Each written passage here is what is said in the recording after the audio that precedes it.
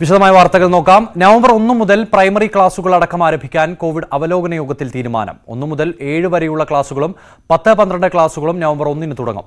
November പതിനഞ്ച് മുതൽ എല്ലാ ക്ലാസുകളും ആരംഭിക്കാൻ തയ്യാറെടുപ്പുകൾ നടത്താനും പതിനഞ്ച് ദിവസം മുൻപ് മുന്നൊരുക്കങ്ങൾ പൂർത്തിയാ പൂർത്തീകരിക്കാനും മുഖ്യമന്ത്രി പിണറായി വിജയൻ യോഗത്തിൽ നിർദ്ദേശിച്ചു. വിവരങ്ങളുമായി എസ് എസ് ആണ് ചേരുന്നത്. ശരൺ ഒന്നര വർഷത്തിന് ശേഷം കുട്ടികൾ വിദ്യാലയത്തിലേക്ക് പോകുന്നു. തീരുമാനം എന്തൊക്കെയാണ്? നിർദ്ദേശങ്ങൾ എന്തൊക്കെയാണ്? തീർച്ചയായിട്ടും നിമേഷ് സൂചിപ്പിച്ച പോലെ തന്നെ ഒന്നര വർഷത്തിന് ശേഷം സംസ്ഥാനത്ത് സ്കൂളുകൾ തുറക്കുകയാണ്. നവംബർ ഒന്ന് മുതൽ സ്കൂളുകൾ തുറക്കാൻ കോവിഡ് അവലോകന യോഗത്തിൽ തീരുമാനമായിരിക്കുന്നു. അതായത് ഇന്ന് വൈകിട്ട് മുഖ്യമന്ത്രിയുടെ അധ്യക്ഷതയിൽ ചേർന്ന കോവിഡ് അവലോകന യോഗത്തിലാണ് സുപ്രധാനമായി ഈ തീരുമാനം കൈക്കൊണ്ടിരിക്കുന്നത്. നവംബർ ഒന്ന് മുതൽ അതായത് ഒന്ന് മുതൽ ഏഴ് വരെയുള്ള പ്രൈമറി ക്ലാസ്സുകളും പത്ത് പന്ത്രണ്ട് ക്ലാസ്സുകളും നവംബർ ഒന്ന് മുതൽ തുടങ്ങുമെന്നാണ് അറിയിച്ചിരിക്കുന്നത്. ഇതോടൊപ്പം തന്നെ നവംബർ പതിനഞ്ച് മുതൽ എല്ലാ ക്ലാസ്സുകളും ആരംഭിക്കുന്നതിനുള്ള തയ്യാറെടുപ്പുകൾ നടത്താനും ഇന്ന് ചേർന്ന അവലോകന യോഗത്തിൽ മുഖ്യമന്ത്രി നിർദ്ദേശം നൽകിയിട്ടുണ്ട്. പതിനഞ്ച് ദിവസം മുമ്പ് അതായത് ക്ലാസുകൾ ആരംഭിക്കുന്നതിന് പതിനഞ്ച് ദിവസങ്ങൾ മുമ്പ് മുന്നൊരുക്കങ്ങൾ പൂർത്തീകരിക്കണമെന്നുള്ള നിർദ്ദേശവും മുഖ്യമന്ത്രിയുടെ ഭാഗത്തുനിന്ന് ഉണ്ടായിട്ടുണ്ട്. പ്രധാനമായും നമുക്കറിയാം ഈ പ്രൈമറി ക്ലാസുകൾ ആരംഭിക്കുന്നത് സംബന്ധിച്ച് നേരത്തെ ഈ പ്രൈമറി ക്ലാസുകൾ ആദ്യം തുറക്കണമെന്ന അഭിപ്രായം ആരോഗ്യ വിദഗ്ധർ അടക്കം മുന്നോട്ട് വച്ചിരുന്നു. അതിൽ പ്രധാനമായും അവർ വ്യക്തമാക്കിയിരുന്നത് ഈ പ്രൈമറി ക്ലാസുകളിലെ വിദ്യാർത്ഥികൾക്കിടയിൽ കോവിഡ് വ്യാപന സാധ്യത കുറവാണ്. അതുകൂടി കണക്കിലെടുത്താണ് പ്രൈമറി ക്ലാസുകൾ ഈ പത്ത് പന്ത്രണ്ട് ക്ലാസ്സുകൾക്കൊപ്പം തുടങ്ങാൻ തീരുമാനമായിരിക്കുന്നത്. പത്ത് പന്ത്രണ്ട് ക്ലാസ്സുകൾ നമുക്കറിയാം. പ്രധാനമായും ഈ പൊതുപരീക്ഷകൾ നടക്കുന്ന ക്ലാസ്സുകൾ കൂടിയാണ്. അതുകൊണ്ടാണ് പത്ത് പന്ത്രണ്ട് ക്ലാസുകളും ഈ സമയത്ത് തന്നെ ആരംഭിക്കുന്നത്. പ്രൈമറി ക്ഷമിക്കണം സ്കൂളുകൾ തുറക്കുന്നതുമായി ബന്ധപ്പെട്ട് വിദ്യാഭ്യാസ വകുപ്പും ആരോഗ്യ വകുപ്പും സംയുക്തമായി യോഗം ചേർന്ന് ആവശ്യമായ തയ്യാറെടുപ്പുകൾ നടത്തണമെന്നുള്ള നിർദ്ദേശം മുഖ്യമന്ത്രിയുടെ ഭാഗത്തു നിന്നുണ്ടായിട്ടുണ്ട്. രോഗപ്രതിരോധ ശേഷി കുറവുള്ള കുട്ടികൾ സ്കൂളുകൾ ഹാജരാകേണ്ടതില്ല. എന്ന നിലപാടെടുക്കുന്നത് ഉചിതമാണെന്ന് മുഖ്യമന്ത്രി വ്യക്തമാക്കിയിട്ടുണ്ട്. സ്കൂൾ ഹെൽത്ത് പ്രോഗ്രാം പുനഃസ്ഥാപിക്കുന്നതിനുള്ള നടപടികൾ സ്വീകരിക്കണം. വിദ്യാലയങ്ങൾ തുറക്കുമ്പോൾ രോഗം പടരാതിരിക്കാനുള്ള മുൻകരുതൽ വിദ്യാലയങ്ങൾ തുറക്കാനുള്ള തീയതി ഇപ്പോൾ പ്രഖ്യാപിക്കപ്പെട്ടിരിക്കുന്നു. നവംബർ ഒന്ന് മുതലാണ് പ്രൈമറി ക്ലാസുകൾ അടക്കം ആരംഭിക്കാൻ കോവിഡ് അവലോകന യോഗത്തിൽ ഇപ്പോൾ തീരുമാനമായിരിക്കുന്നത്. എസ്. എസ്. ശരണാണ് വിവരങ്ങൾ നൽകിയത്. മറ്റു വാർത്തകൾ നോക്കാം. തിരുവനന്തപുരം കാട്ടാക്കട കുറ്റിച്ചലിൽ തെരുവുനായയുടെ ആക്രമണം. ഫാമിലെ നൂറുകണക്കിന് കോഴികളെ തെരുവുനായ്ക്കൾ കടിച്ചുകൊന്നു. കുറ്റിച്ചൽ സ്വദേശി രാജപ്പൻ നായരുടെ ഉടമസ്ഥതയിലുള്ളതാണ് ഫാം. കോഴികൾക്ക് ആഹാരം നൽകാൻ ഫാം ഉടമ എത്തിയപ്പോഴാണ് നായ്ക്കൾ കൊന്നൊടുക്കിയ കാഴ്ച കാണുന്നത്. നൂറുകണക്കിന് കോഴികൾ ചത്തു. രണ്ട് ലക്ഷത്തിലേറെ രൂപയുടെ നഷ്ടമാണ് ഉണ്ടായത് വലകൾ കടിച്ചു മുറിച്ചാണ് നായ്ക്കൾ ഷെഡിനുള്ളിൽ കടന്നത്. അറുപത്തിരണ്ട് ദിവസം പ്രായമുള്ളവയാണ് ചത്ത കോഴികൾ. കനം കുറഞ്ഞ ഇരുമ്പ് വലയും പ്ലാസ്റ്റിക് വലയുമാണ് ഷെഡിനിട്ടിരുന്നത്. പ്രദേശത്ത് തെരുവുനായ ശല്യം രൂക്ഷമായിരുന്നു. വളർച്ചയെത്തിയ കോഴികളെ നായ്ക്കൾ കൊന്നൊടുക്കിയതോടെ വലിയ പ്രതിസന്ധിയിലാണ് കർഷകൻ. News Eighteen Kattakada. Poojappura central ജയിലിൽ നിന്ന് രക്ഷപ്പെട്ട പ്രതി കോടതിയിൽ കീഴടങ്ങി. കൊലക്കേസിൽ ജീവപര്യന്തം ശിക്ഷിക്കപ്പെട്ട Jahir ഹുസൈനാണ് Thiruvananthapuram additional chief judicial magistrate കോടതിയിൽ കീഴടങ്ങിയത്. ഒരാഴ്ച മുൻപാണ് ജാഹിർ ഹുസൈൻ ജോലിക്കിടെ ജയിലിൽ നിന്ന് രക്ഷപ്പെട്ടത്. കടലാക്രമണത്തിൽ തകർന്ന ശംഖുമുഖത്തെ ആഭ്യന്തര വിമാനത്താവളത്തിലേക്കുള്ള റോഡിന്റെ പുനർനിർമ്മാണം നാല് മാസത്തിനകം പൂർത്തിയാക്കുമെന്ന് മന്ത്രി ആന്റണി രാജു. തകർന്ന മുന്നൂറ്റി മുപ്പത് മീറ്റർ റോഡാണ് സംരക്ഷണ ഭിത്തിയോടെ പുനർനിർമ്മിക്കുക. അതേസമയം ആഭ്യന്തര വിമാനത്താവളത്തിലേക്കുള്ള യാത്രക്കാർ റോഡിലൂടെ ലഗേജും ചുമന്നു പോകുന്ന ദൃശ്യങ്ങൾ പ്രചരിപ്പിച്ചത് ശരിയായില്ലെന്നും മന്ത്രി കുറ്റപ്പെടുത്തി. നിരന്തരമുണ്ടായ കടലാക്രമണം മൂലം ശംഖുമുഖം വഴി ആഭ്യന്തര വിമാനത്താവളത്തിലേക്കുള്ള റോഡ് പൂർണമായും തകർന്നിരുന്നു. ഇതിന്റെ പുനർനിർമ്മാണ പ്രവർത്തനങ്ങൾ പുരോഗമിക്കുകയാണ്. സംരക്ഷണ ഭിത്തി നിർമ്മിക്കുന്നതിനിടയിൽ റോഡിന്റെ കൂടുതൽ ഭാഗം കടലെടുത്തു. ഇതോടെ അധിക തുക മുടക്കി മുന്നൂറ്റി മുപ്പത് മീറ്റർ റോഡ് പുനർനിർമ്മിക്കേണ്ട സാഹചര്യമാണ്.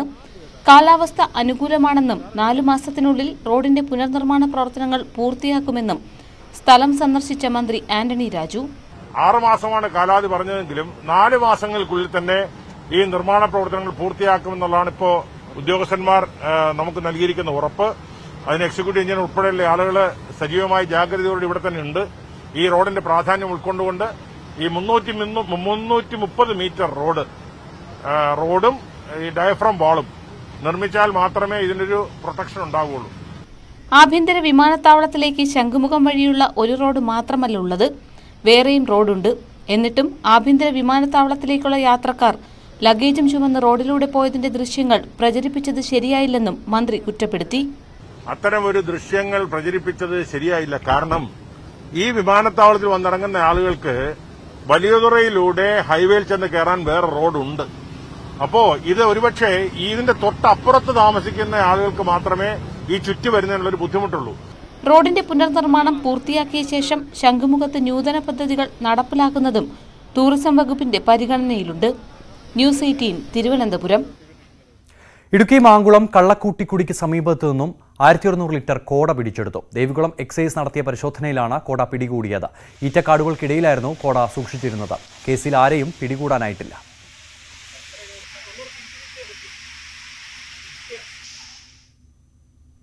സർക്കാരിന്റെ ലൈഫ് പദ്ധതിയിൽ പതിനായിരം വീടുകൾ കൂടി നൽകി. മുഖ്യമന്ത്രി ഓൺലൈനായാണ് പ്രഖ്യാപനം നടത്തിയത്. ഗുരുവായൂർ നഗരസഭയിൽ ആയിരത്തി ഒരുന്നൂറ്റി അൻപത്തിരണ്ട് വീടുകളാണ് നൽകിയത്. ഇതിൽ അറുന്നൂറ്റി അൻപത്തിനാല് വീടുകൾ പൂർത്തിയാക്കി. ഇടുക്കി കരുണാപുരത്ത് ലൈഫ് പദ്ധതിയിൽ മുന്നൂറ്റി നാൽപ്പത്തിയേഴ് വീടുകളാണ് അനുവദിച്ചത്. ഇതിൽ ഇരുന്നൂറ്റി ഇരുപത് വീടുകൾ പൂർത്തീകരിച്ചു. നെടുമങ്ങാട് നഗരസഭയാണ് ഏറ്റവും കൂടുതൽ വീട് നിർമ്മിച്ചു നൽകിയത്. ആയിരത്തി തൊള്ളായിരത്തി ഇരുപത്തിയൊൻപത് എണ്ണം. ഈ വർഷം വീണ്ടും അപേക്ഷകൾ സ്വീകരിക്കുമെന്നും അധികൃതർ വ്യക്തമാക്കി. കാസർഗോഡ് കാർഷിക മേഖലയ്ക്ക് ഭീഷണിയായി ആഫ്രിക്കൻ ഉച്ചുകൾ. ഗുരുതരമായ ആരോഗ്യ പ്രശ്നങ്ങൾ സൃഷ്ടിക്കുന്നവയാണ് ഈ ആഫ്രിക്കൻ ഒച്ചുകൾ കാർഷിക മേഖലയ്ക്കടക്കം ഭീഷണിയാവുകയാണ് ഒച്ചുകൾ. ജില്ലയുടെ വിവിധ ഭാഗങ്ങളിൽ ഒച്ചുശല്യം രൂക്ഷമാണ്. പച്ചക്കറി കപ്പ ചേന ചേമ്പ് വാഴ പപ്പായ എന്നുവേണ്ട റബ്ബർ മരത്തിൽ പോലും ആഫ്രിക്കൻ ഒച്ചുകൾ കൈയടക്കി. പച്ചക്കറികളിൽ തളരുകൾ മുതൽ ഇല വരെ തിന്നുതീർക്കുന്നു മുഗ്രാൽ പുത്തൂർ പഞ്ചായത്തിലെ പെരിയനടുക്ക അജാനൂർ പഞ്ചായത്തിലെ ചിറ്റാരി മുക്കൂട് കൊട്ടിലങ്ങാടി ചെങ്കള പഞ്ചായത്തിലെ സന്തോഷ് നഗർ ബാര നീലേശ്വരം അനന്തൻപള്ള എന്നിവിടങ്ങളിലാണ് ഒച്ചുകളുടെ ശല്യം രൂക്ഷമായത്. വീടിനകത്തേക്ക് പോലും എത്തുന്ന ഭീമനൊച്ചുകളുടെ ശല്യം കൊണ്ട് പൊറുതിമുട്ടിയിരിക്കുകയാണ് നാട്ടുകാർ. നമ്മുടെ ഈ വീട് വാതി പല എല്ലാ സ്ഥലങ്ങളിലും ഒച്ചിന്റെ ശല്യം വളരെ കൂടിക്കൊണ്ടിരിക്കുകയാണ് വീട്ടിന്റെ വായ അപപ്പങ്ങായ എല്ലാം ഇപ്പോൾ വീട്ടിൽ തന്നെ ഇപ്പം കയറാൻ തുടങ്ങി തുടങ്ങിയിരിക്കുകയാണ്. അപ്പോൾ ഇതിനു വേണ്ടി പഞ്ചായത്തു നിന്നും എല്ലായിടത്തും നല്ല നടപ നടപടി വേണമെന്ന് അഭ്യർത്ഥിക്കുന്നു. ഒച്ചുകളെ കാണുന്ന സമയത്ത് തന്നെ പിടികൂടി നശിപ്പിച്ചില്ലെങ്കിൽ ഒന്ന് എണ്ണൂറായി അടുത്ത മഴക്കാലത്ത് പെരുകുമെന്ന മുന്നറിയിപ്പാണ് വിദഗ്ധർ നൽകുന്നത്.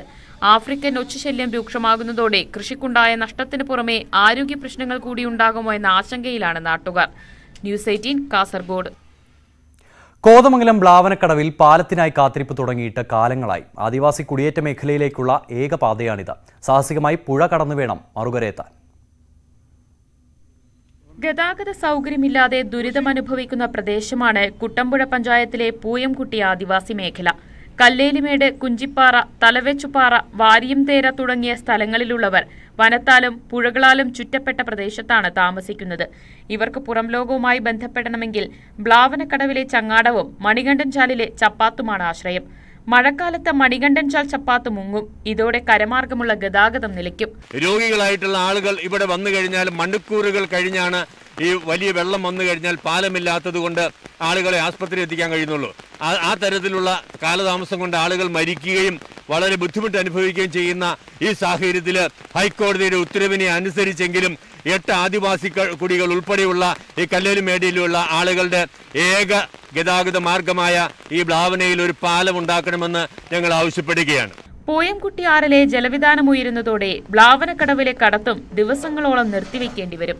ഇതോടെ മഴക്കാലത്ത് ആദിവാസി കുടിയേറ്റ മേഖലയിലുള്ളവർക്ക് പുറം ലോകവുമായി ബന്ധപ്പെടാനുള്ള എല്ലാ മാർഗവും നിലയ്ക്കും. ഇത് തൊഴിൽ വിദ്യാഭ്യാസം ആശുപത്രി സാഹചര്യങ്ങൾക്ക് പുറത്തുപോകാൻ സാധിക്കാത്ത സാഹചര്യമുണ്ടാക്കും. പാലം പണി എത്രയും വേഗം പൂർത്തിയായാൽ ഈ പ്രശ്നങ്ങൾക്ക് ഒരു പരിധിവരെ പരിഹാരം കാണാനാകും. News eighteen Kothamangalam. Chavara K M M എല്ലിൽ ദ്രവീകൃത ഓക്സിജന്റെ ഉൽപാദനശേഷി ഏഴ് ടണ്ണിൽ നിന്നും പത്ത് ടണ്ണായി വർദ്ധിപ്പിച്ചു. ഹോട്ട് ബാഗ് ഫിൽറ്റർ സംവിധാനവും പ്രവർത്തനം തുടങ്ങി. വാതക ഓക്സിജനൊപ്പം ഏഴ് ടൺ ദ്രവീകൃത ഓക്സിജനും ഈ പ്ലാന്റിൽ നിന്ന് ലഭ്യമായി. രണ്ടായിരത്തി ഇരുപത് ഒക്ടോബർ മുതൽ ഇതുവരെ രണ്ടായിരത്തോളം ടൺ ഓക്സിജൻ ആരോഗ്യമേഖലയ്ക്ക് നൽകി. പത്ത് വർഷം കൊണ്ട് ഒരു ലക്ഷം ടണ്ണായി ഉൽപാദനം വർദ്ധിപ്പിക്കുകയാണ് ലക്ഷ്യം. അടിമാലിയിൽ സർക്കാർ പ്രഖ്യാപിച്ച ജലപരിശോധനാ ലാബ് ഇതുവരെ തുടങ്ങിയിട്ടില്ല. ജില്ലയിൽ തൊടുപുഴയിലും ഇടുക്കിയിലും പ്രഖ്യാപിച്ച മറ്റു ലാബുകൾ പ്രവർത്തനം ആരംഭിച്ചിട്ടും അടിമാലിയിൽ പ്രവർത്തനം തുടങ്ങാത്തത് പഞ്ചായത്തിന്റെ വീഴ്ചയാണെന്നാണ് ആരോപണം. തൊടുപുഴ അടിമാലി ഇടുക്കി എന്നിവിടങ്ങളിൽ ജലജീവൻ മിഷന്റെ മൂന്ന് ജലപരിശോധനാ ലാബുകൾ തുടങ്ങാനായിരുന്നു തീരുമാനം. എന്നാൽ ഇടുക്കി തൊടുപുഴ ലാബുകൾ പ്രാരംഭ പ്രവർത്തനങ്ങൾ തുടങ്ങിയെങ്കിലും അടിമാലി ലാബിന്റെ പ്രവർത്തനം അനിശ്ചിതത്വത്തിലായി. വാടക കെട്ടിടത്തിൽ ലാബ് പ്രവർത്തനം തുടങ്ങാൻ പഞ്ചായത്ത് പദ്ധതിയിട്ടെങ്കിലും പിന്നീട് ജലജീവൻ അനുമതി നൽകിയില്ല. കേന്ദ്ര ഗവൺമെന്റ് ആവിഷ്കൃത പദ്ധതിയായ ജലജീവൻ പദ്ധതി പ്രകാരം ഇടുക്കി ജില്ലയിൽ മൂന്ന് ജലപരിശോധന കേന്ദ്ര ലാബുകൾക്ക് കേന്ദ്ര ഗവൺമെന്റ് അനുമതി നൽകിയിട്ടുണ്ട്. അതിലൊന്ന് തൊടുപുഴയും അടിമാലിയിലും ഇടുക്കിയിലുമാണ്. പക്ഷേ അടിമാലിയിൽ ഒഴിച്ച് നൽകിയിട്ടുള്ള മറ്റെല്ലാ ലാബുകളുടെയും പ്രവർത്തനങ്ങൾ ആരംഭിച്ചു. ഇവിടെ ആവശ്യാനുസരണമായ കെട്ടിടവും സൗകര്യങ്ങളും ഗ്രാമപഞ്ചായത്ത് ഒരുക്കി കൊടുക്കാത്തതുകൊണ്ടാണ് ഈ ലാബിന്റെ പ്രവർത്തനങ്ങളുടെ തടസ്സമായി നിൽക്കുന്നത്. എന്നാൽ അടിമാലി ടൗണിൽ തന്നെ പഴയ പഞ്ചായത്ത് കെട്ടിടം ലാബിനായി ഉപയോഗിക്കാമെങ്കിലും ഇത് വിട്ടു നൽകാൻ ഗ്രാമപഞ്ചായത്ത് തയ്യാറാകുന്നില്ല എന്നാണ് പരാതി. അടിമാലി മേഖലയിൽ ജലമാലിന്യങ്ങൾ വർദ്ധിച്ചു വരുന്നതായി ജലസേചന വകുപ്പും ആരോഗ്യ വിഭാഗവും കണ്ടെത്തിയിരുന്നു. ഇതേ തുടർന്നാണ് ജലപരിശോധനാ ലാബ് അനുവദിച്ചത്. എന്നാൽ വേണ്ടത്ര നടപടികൾ സ്വീകരിക്കാൻ പഞ്ചായത്ത് തയ്യാറാകാത്തതാണ് പദ്ധതിക്ക് കാലതാമസം നേരിടാൻ കാരണം. News eighteen Adimali. വർഷങ്ങൾ നീണ്ട കാത്തിരിപ്പിനൊടുവിൽ കൊച്ചി കോർപ്പറേഷനിൽ നിന്ന് പൊതുജനങ്ങൾക്കുള്ള സേവനങ്ങൾ പൂർണമായും ഓൺലൈൻ ആവുകയാണ് ആറുമാസത്തിനകം പൂർണമായ ഡിജിറ്റലൈസേഷനാണ് കോർപ്പറേഷൻ ലക്ഷ്യമിടുന്നത്. ജനനമരണ വിവാഹ രജിസ്ട്രേഷൻ മുതൽ കെട്ടിട നിർമ്മാണ അപേക്ഷ നൽകാനും നികുതിയൊടുക്കലിനുമൊന്നും ഇനി മുതൽ കൊച്ചി നഗരസഭാ ഓഫീസിൽ കയറിയിറങ്ങി നടക്കേണ്ട. എല്ലാ സേവനങ്ങളും വീട്ടിലിരുന്ന് തന്നെ ലഭ്യമാകും. പൂർണമായും ഓൺലൈൻ സൗകര്യം ഒരുക്കുന്നതിനുള്ള നടപടിക്രമങ്ങളിലാണ് നഗരസഭ. സെപ്റ്റംബർ ഏഴ് മുതലുള്ള ജനനമരണ വിവാഹ സർട്ടിഫിക്കറ്റുകൾ ഓൺലൈനായാണ് പൊതുജനങ്ങൾക്ക് ലഭിക്കുന്നത്. സെപ്റ്റംബർ പതിനഞ്ച് മുതൽ നഗരത്തിലെ കെട്ടിട നിർമ്മാണ അപേക്ഷകളും ഓൺലൈൻ വഴിയാണ്. വൈകാതെ കെട്ടിടങ്ങളുടെ നികുതിയും വീട്ടിലിരുന്നൊടുക്കാനാകും.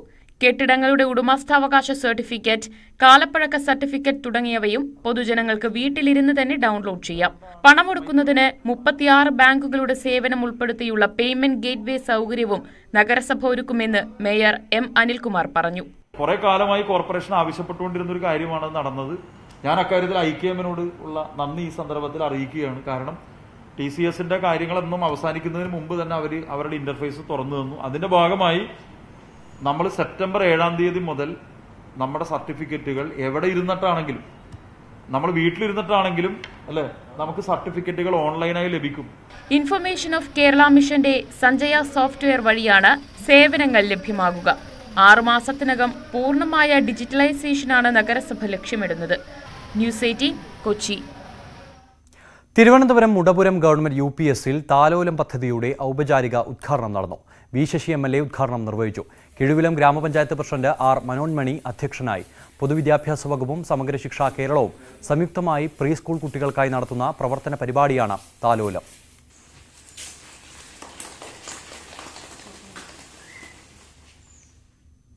നാട്ടുവർത്തമാനം തുടരും. ഒരു ചെറിയ ഇടവേളയ്ക്ക് ശേഷം.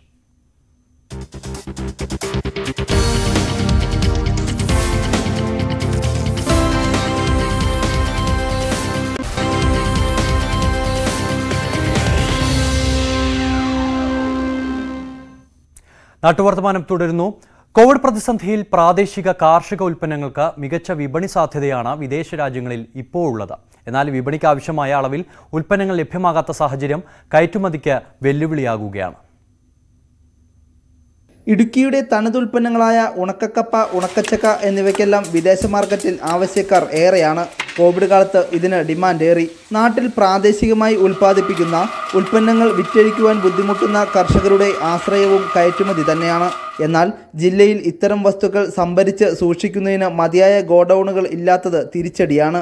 ഇടുക്കി ജില്ല പോലുള്ള ജില്ലകളിൽ ചക്കയും മാങ്ങയും കപ്പയൊക്കെ അത് സ്റ്റോർ ചെയ്യുന്നതിനുള്ള ഫ്രോസൺ ഫെസിലിറ്റി നമുക്കിവിടെ ഉണ്ടെങ്കിൽ കുറച്ചുകൂടെ നല്ല ഈസി ആയിട്ട് നമ്മുടെ പ്രൊഡക്റ്റുകൾ കയറ്റിവിടാൻ പറ്റും. അതുപോലെ തന്നെ നമുക്ക് കർഷകർക്ക് നല്ല വില കിട്ടും. നിലവിൽ എറണാകുളം ഉൾപ്പെടെയുള്ള സ്ഥലങ്ങളിലാണ് ഭക്ഷ്യ ഉൽപ്പന്നങ്ങൾക്ക് ഗോഡൌണുകൾ ഉള്ളത്. അതുകൊണ്ട് തന്നെ കയറ്റുമതി ഉൽപ്പന്നങ്ങൾ സൂക്ഷിക്കുന്നതിന് ഭീമമായ തുക നൽകേണ്ടി വരും. കയറ്റുമതി ചെയ്യുന്ന ഭക്ഷ്യ പച്ചക്കറികൾക്കായി ഇടുക്കി ഉൾപ്പെടെയുള്ള കാർഷിക ജില്ലകളിൽ ഗോഡൌണുകൾ ഒരുക്കണമെന്ന ആവശ്യമാണ് ഉയരുന്നത്. പ്രാദേശിക ഭക്ഷ്യവിളകളുടെ കയറ്റുമതിക്ക് ഇത്തരം സംരംഭങ്ങൾ ഏറെ ഗുണം ചെയ്യുകയും ചെയ്യും.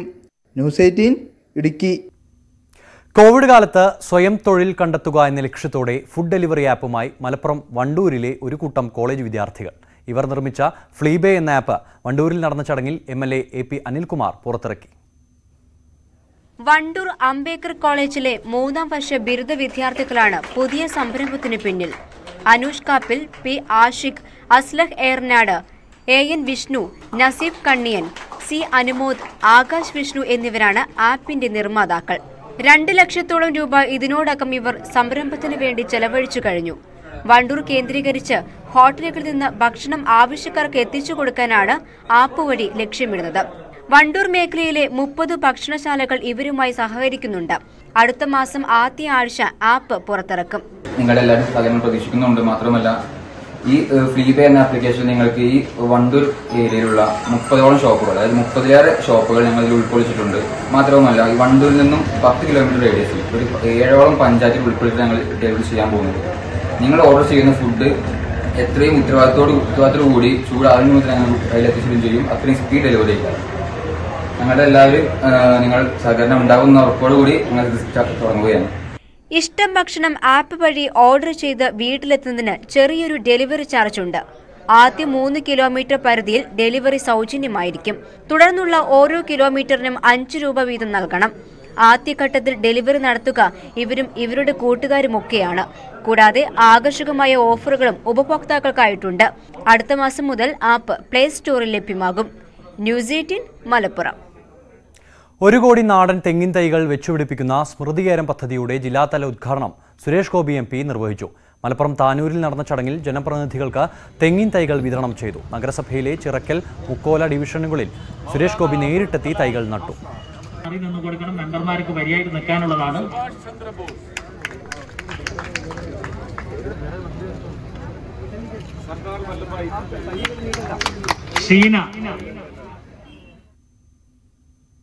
കോഴിക്കോട് മെഡിക്കൽ കോളേജിലെ മാതൃശിശു സംരക്ഷണ കേന്ദ്രത്തിൽ മലബാറിലെ ആദ്യത്തെ മുലപ്പാൽ ബാങ്ക്. അസുഖങ്ങളില്ലെന്ന് ഉറപ്പുവരുത്തിയ ശേഷം ഏറ്റവും പുതിയ സാങ്കേതിക വിദ്യയുടെ സഹായത്തോടെയാണ് പാൽ ശേഖരിക്കുക. പല കാരണങ്ങളാൽ മുലപ്പാൽ ലഭിക്കാത്ത നവജാത ശിശുക്കൾക്ക് പാൽ ലഭ്യമാക്കുകയാണ് ലക്ഷ്യം. കേരളത്തിലെ മെഡിക്കൽ കോളേജുകളിൽ ആദ്യത്തെ മുലപ്പാൽ ബാങ്കാണ് കോഴിക്കോട് പ്രവർത്തനം ആരംഭിച്ചത്. മുലപ്പാൽ ദാനം ചെയ്യാൻ സമ്മതമുള്ളവരിൽ നിന്ന് സ്ക്രീനിംഗ് ടെസ്റ്റ് നടത്തി മറ്റ് അസുഖങ്ങളൊന്നും ഇല്ലെന്ന് ഉറപ്പുവരുത്തിയ ശേഷം ബ്രസ്റ്റ് പമ്പ് ഉപയോഗിച്ച് പ്രത്യേക ബോട്ടിലുകളിൽ മുലപ്പാൽ ശേഖരിക്കും. രണ്ട് മുതൽ എട്ട് ഡിഗ്രി സെൽഷ്യസ് വരെ താപനിലയിൽ സൂക്ഷിക്കുകയും പാസ്ചറൈസേഷൻ നടത്തി പ്രത്യേക സംഭരണികളിലേക്ക് മാറ്റുകയും ചെയ്യും. പാൽ അണുവിമുക്തമാണെന്ന് മൈക്രോബയോളജി പരിശോധനയിലൂടെ സ്ഥിരീകരിക്കും. ആറുമാസം വരെ മുലപ്പാൽ കേടുകൂടാതെ സൂക്ഷിക്കാൻ കഴിയും. പാൽ കൊടുക്കാൻ ഇല്ലാത്ത അമ്മമാരുടെ കുഞ്ഞുങ്ങൾക്ക് അല്ലെങ്കിൽ എന്തെങ്കിലും മരണം സംഭവിക്കുന്ന കുഞ്ഞുങ്ങൾ അങ്ങനെ കുറേ കുഞ്ഞുങ്ങൾ ഈ ബ്രസ്റ്റ് മിൽക്കിന് പകരം സബ്സ്റ്റിറ്റ്യൂട്ട്സ് ഒക്കെ കൊടുക്കുന്നവരുണ്ട്. അവർക്കൊക്കെ തീർച്ചയായിട്ടും ഒരു വലിയ ഉപകാരമാവും കാരണം ബ്രസ്റ്റ് മിൽക്ക് കൊണ്ട് അറിയാം പാലിന്റെ ഗുണം നമുക്ക് എല്ലാവർക്കും അറിയാം. അത് അതിനൊരു സബ്സ്റ്റിറ്റ്യൂട്ട് തന്നെയാണ്. അപ്പോൾ ആ രീതിയിലുള്ള ഒരു പ്രവർത്തനമാണ് നമ്മൾ വിചാരിക്കുന്നത്. പല കാരണങ്ങൾ കൊണ്ട് മുലപ്പാൽ ലഭിക്കാത്ത കുഞ്ഞുങ്ങൾക്ക് ഈ സംഭരണി ആശ്വാസമാവും. കൂടുതൽ അമ്മമാർ മുലപ്പാൽ ദാനത്തിനായി മുന്നോട്ട് വരാൻ ക്യാമ്പയിനും ആരംഭിക്കുന്നുണ്ട്. ഇത് വളർച്ചയെത്താതെ എത്താതെ മാസം തികയാതെ ജനിച്ച കുഞ്ഞുങ്ങൾക്കും വളർച്ചക്കുറവ് മാസം തികഞ്ഞിട്ടും വളർച്ചക്കുറവുള്ള കുഞ്ഞുങ്ങൾക്കും. നേരത്തെ പ്രസവിക്കുമ്പം അമ്മമാരിൽ തുടക്ക ദിവസങ്ങളിൽ പാൽ കുറവായിരിക്കും. അപ്പോൾ അങ്ങനെയുള്ള അമ്മമാരെ കുഞ്ഞുങ്ങൾക്ക് കൊടുക്കാൻ ആദ്യഘട്ടത്തിൽ മെഡിക്കൽ കോളേജ് ആശുപത്രിയിലുള്ള നവജാത ശിശുക്കൾക്കാണ് പാൽ ലഭ്യമാവുക. News eighteen Kozhikode. തെരുവിൽ ജനിച്ച് അനാഥാലയത്തിൽ വളർന്ന് വിവാഹിതയായി പാലക്കാട് താമസിക്കുന്ന ശ്രീദേവിയെയും കുടുംബത്തെയും കാണാൻ സുരേഷ് ഗോപി എത്തി സുരേഷ് ഗോപിയെ കണ്ട് ജീവിത പ്രയാസങ്ങൾ പറയണമെന്ന ശ്രീദേവിയുടെ വർഷങ്ങളായുള്ള ആഗ്രഹമാണ് ഇതോടെ സഫലമായത്.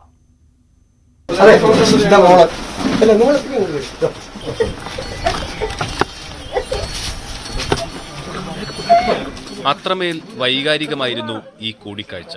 വർഷങ്ങൾക്ക് മുമ്പ് മലപ്പുറം കോഴിച്ചനയിൽ പ്രസവത്തോടെ അമ്മ തെരുവിൽ ഉപേക്ഷിച്ചതാണ് ശ്രീദേവിയെ പിന്നീട് ഒരു നാടോടി സ്ത്രീ ഇവരെ എടുത്തു വളർത്തി. ഏഴു വയസ്സു മുതൽ ആലുവ ജനസേവാ ശിശുഭവനിൽ വളർന്നു. രണ്ടായിരത്തി പതിനഞ്ചിൽ പാലക്കാട് കാവശ്ശേരി സ്വദേശി സതീഷ് ശ്രീദേവിയെ വിവാഹം ചെയ്തു. നാലു വയസ്സുള്ള മകളുണ്ട് ശിവാനി.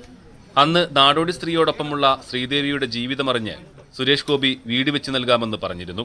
അപ്പോഴേക്കും ശ്രീദേവിയെ ജനസേവാ കേന്ദ്രത്തിലേക്ക് മാറ്റി. പിന്നീട് ഒരു സിനിമാ ചിത്രീകരണത്തിനിടെ ജനസേവാ ശിശുഭവനിൽ വെച്ചും സുരേഷ് ഗോപി ശ്രീദേവിയെ കണ്ടിരുന്നു. ഇപ്പോൾ വിവാഹം കഴിഞ്ഞ് കുടുംബമായി കഴിയുന്ന ശ്രീദേവിക്ക് ദുരിതങ്ങൾ ഏറെയുണ്ട്. സ്വന്തമായി വീടില്ല. അതിന് സഹായം വേണം. സുരേഷ് ഗോപിയെ കണ്ട് ഇക്കാര്യങ്ങൾ പറയണമെന്നായിരുന്നു ആഗ്രഹം. സ്ഥലത്തെ ബി ജെ പി നേതാക്കളാണ് ശ്രീദേവി ഇവിടെയുള്ള കാര്യം സുരേഷ് ഗോപിയെ അറിയിക്കുന്നത്. വിവരമറിഞ്ഞപ്പോൾ ഒരു മടിയും കൂടാതെ സുരേഷ് ഗോപി എത്തിയതിന്റെ സന്തോഷത്തിലാണ് ശ്രീദേവി. പിന്നെ വളരെ സന്തോഷമായി സുരേഷ് ഗോപി അങ്ങനെ വന്ന് കെട്ടിപ്പിടിച്ച് കരഞ്ഞതും അങ്കിൾ എനിക്ക് സ്വീറ്റ്സ് ഒക്കെ മേടിച്ചിട്ട് തന്നു എനിക്ക് വളരെ സന്തോഷമായി ഞങ്ങളുടെ അങ്കിളിന്റെ കയ്യിലാണ് ബാക്കി എന്റെ എല്ലാ കാര്യങ്ങളും കിടക്കണത്. അങ്കിൾ മനസ്സ് വെച്ച് തന്നെ രക്ഷപ്പെടും ഉറപ്പായിട്ടും. അങ്കിൾ എന്നെ മനസ്സ് വയ്ക്കണം കാരണം എനിക്ക് ഇവിടുന്ന് രക്ഷപ്പെടണം. കാരണം എനിക്കൊരു പെൺകുട്ടിയാണ്. എനിക്ക് ജീവിക്കാൻ വേറെ മാർഗവും ഇല്ല. ശ്രീദേവിയെയും കുടുംബത്തെയും കാണാൻ മധുരവുമായാണ് സുരേഷ് ഗോപി എത്തിയത്. അവരുടെ ജീവിതം അറിഞ്ഞു. സങ്കടങ്ങൾ കേട്ടു. കണ്ടപ്പോൾ ഇപ്പൊ അതിന്റെ മുഖം ഇപ്പോഴും മാറിയിട്ടില്ല. അവളുടെ മകൾ ശിവാനിയുടെ പരുവത്തിലാണ് ഞാൻ ആദ്യം കാണുന്നത്. അല്ല സന്തോഷം. കല്യാണം കഴിച്ചൊരു കുഞ്ഞുമായിട്ട് ഇതൊരു എന്താണ് ഒരു സിനിമ കഥ പോലെ തന്നെയാണ്. സിനിമാ കഥ പോലെ നിരവധി വഴിത്തിരിവുകൾ നിറഞ്ഞതാണ് ശ്രീദേവിയുടെ ജീവിതം. സുരേഷ് ഗോപിയുടെ സന്ദർശനം തന്റെ ദുരിതങ്ങൾക്കൊരു പരിഹാരമാകുമെന്ന പ്രതീക്ഷയിലാണ് ശ്രീദേവി. ക്യാമറാമാൻ പ്രജിത് കോങ്ങാടിനോടൊപ്പം പ്രസാദ് ഉടുമ്പിശ്ശേരി ന്യൂസ് എയ്റ്റീൻ പാലക്കാട്. പാലക്കാട് പത്തിരിപ്പാലയിൽ കാഴ്ചശക്തിയില്ലാത്ത ലോട്ടറി വിൽപ്പനക്കാരനെ കബളിപ്പിച്ച ലോട്ടറി ടിക്കറ്റുകൾ തട്ടിയെടുത്തതായി പരാതി. പത്തിരിപ്പാല സ്വദേശി അനിൽകുമാറിന്റെ കയ്യിലുണ്ടായിരുന്ന ലോട്ടറി ടിക്കറ്റുകൾ തട്ടിയെടുത്ത് പകരം പഴയ ടിക്കറ്റുകൾ നൽകിയാണ് കബളിപ്പിച്ചത്. സംഭവത്തിൽ മങ്കര പോലീസ് അന്വേഷണം ആരംഭിച്ചു. ലോട്ടറി വിറ്റ് ഉപജീവനമാർഗം കണ്ടെത്തിയിരുന്ന പത്തിരിപ്പാല നഗരിപ്പുറം സ്വദേശി അനിൽകുമാറിനോട് വലിയ ക്രൂരതയാണ് ബൈക്ക് യാത്രക്കാരനായ തട്ടിപ്പുകാരൻ നടത്തിയത്. കാഴ്ചയില്ലാത്ത അനിൽകുമാറിൽ നിന്ന് ലോട്ടറി ടിക്കറ്റ് വാങ്ങാനെന്ന വ്യാജേന ടിക്കറ്റുകൾ വാങ്ങി പരിശോധിച്ചു. ഇതിനിടെ താൻ മുമ്പെടുത്ത ടിക്കറ്റിന് ആയിരം രൂപ സമ്മാനം അടിച്ചിട്ടുണ്ടെന്നും പണം നൽകാമോ എന്നും ചോദിച്ചു. എന്നാൽ ടിക്കറ്റ് കാണാൻ കഴിയാത്തതിനാൽ അങ്ങനെ പണം നൽകാറില്ലെന്ന് അനിൽകുമാർ മറുപടി നൽകി. ഇതോടെ ഇയാൾ ടിക്കറ്റുകൾ തിരിച്ചു നൽകി മടങ്ങി. എന്നാൽ മറ്റൊരാൾക്ക് ടിക്കറ്റ് വിറ്റപ്പോഴാണ് താൻ കബളിപ്പിക്കപ്പെട്ട വിവരം അനിൽകുമാർ അറിയുന്നത്. പരിശോധിക്കാൻ വാങ്ങിയ പതിനൊന്ന് ടിക്കറ്റുകൾക്ക് പകരം പഴയ ടിക്കറ്റുകളാണ് ഇയാൾ തിരിച്ചു നൽകിയിരുന്നത്. ടിക്കറ്റൊക്കെ എന്റെ നോക്കി ഒരു രണ്ട് മൂന്ന് മിനിറ്റ് പുള്ളി ടിക്കറ്റ് കയ്യിൽ വെച്ചു. അതിനുശേഷം ഒരു ആയിരം ഉൾപ്പെടെ പിന്നിങ് ഉണ്ട് മാറ്റിത്തരാൻ പറ്റുമെന്ന് ചോദിച്ചു. ഞാൻ പറഞ്ഞു കാഴ്ചയില്ലാത്ത ആളായതുകൊണ്ട് പിന്നിങ് മാറ്റിത്തരാൻ കഴിയില്ല. അപ്പോൾ പുള്ളി ആ ടിക്കറ്റ് മേടിച്ചെല്ലാം തിരിച്ചു വന്ന് പത്തിരിപ്പാല ഭാഗത്തേക്ക് അതിവേഗം പുള്ളിക്ക് ഇത് പോവുകയാണ് ചെയ്തത്. സംഭവത്തിൽ മങ്കര പോലീസ് കേസെടുത്ത് അന്വേഷണം ആരംഭിച്ചു. ഈ മേഖലയിലെ സി സി ടി വികൾ പരിശോധിക്കുന്നുണ്ട്. അനിൽകുമാറിന് പിന്തുണയുമായി നാട്ടുകാരും ഒപ്പമുണ്ട്. മുസ്ലിം ലീഗ് മണ്ണൂർ പഞ്ചായത്ത് കമ്മിറ്റിയുടെ നേതൃത്വത്തിൽ അനിൽകുമാറിന് സഹായം നൽകി. കുറ്റക്കാരനെ ഉടൻ പിടികൂടണമെന്ന് നാട്ടുകാർ ആവശ്യപ്പെട്ടു. News eighteen Palakkad. ഇടുക്കിയിലെ കുയിലിമല വ്യൂ പോയിന്റ് സന്ദർശകർക്കായി തുറന്നു നൽകണമെന്ന ആവശ്യം വന്യമൃഗങ്ങളുടെ സ്വൈര്യവിഹാരത്തിനെന്ന കാരണം പറഞ്ഞാണ് വ്യൂ പോയിന്റ് അടച്ചത്. പതിറ്റാണ്ടുകളായി സന്ദർശകർ പ്രകൃതി ഭംഗി ആസ്വദിക്കാനെത്തിയിരുന്ന Kuyilimala micro view point lockdown കാലത്താണ് അടച്ചത്. ഇവിടെ എത്തുന്ന സന്ദർശകർ പുൽമേടുകൾ തീയിട്ട് നശിപ്പിക്കുമെന്നും ജനസാന്നിധ്യം പ്രദേശത്തെ കാട്ടുമൃഗങ്ങളുടെ സ്വൈര്യവിഹാരത്തിന് തടസ്സമാണ് എന്നും പറഞ്ഞാണ് വനംവകുപ്പ് പ്രവേശനം നിരോധിച്ചത്. എന്നാൽ വന്യജീവി വകുപ്പ് ഏറ്റെടുത്ത് കവാടം സ്ഥാപിച്ച് ടിക്കറ്റ് ഏർപ്പെടുത്തി സന്ദർശകരെ പ്രവേശിപ്പിച്ചാൽ സർക്കാരിന് വരുമാനവും കുറച്ചുപേർക്ക് ജോലിയും ലഭിക്കും. നിത്യേന നൂറുകണക്കിന് വിനോദസഞ്ചാരികൾ എത്തിച്ചേർന്നിരുന്ന കുയിലിമല വ്യൂ പോയിന്റാണിത് ഇത് ഈ ലോക്ക്ഡൗണിന്റെ മറവിൽ അടച്ചിട്ട നിലയിലാണുള്ളത്. നഗരമ്പാറ റേഞ്ചിന് കീഴിലുള്ള ഈ വ്യൂ പോയിന്റ് വൈൽഡ് ലൈഫിന് വിട്ടുകൊടുക്കുകയാണെങ്കിൽ ഇത് കൂടുതൽ ഡെവലപ്പ് ചെയ്യാനും കൂടുതൽ സഞ്ചാരികൾക്ക് ഇവിടെ വന്ന് കാണുവാനുള്ള അവസരം ഒരുക്കുവാനും സാധിക്കും. ഈ ടൂറിസമാണ് നമ്മുടെ ഭാവിയുടെ വ്യവസായം എന്ന് പറയുമ്പോഴും സർക്കാർ പറയുമ്പോഴും ഇത്തരത്തിൽ ഉള്ള നടപടികളാണ് നമുക്ക് കാണാൻ കഴിയുന്നത്. എത്രയും വേഗം ഇത് വൈൽഡ് ലൈഫിന് കൈമാറണമെന്നാണ് ഞങ്ങളുടെ ആവശ്യം.